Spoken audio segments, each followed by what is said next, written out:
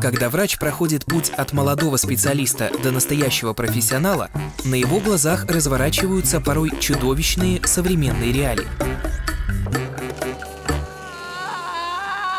А чего делаем-то?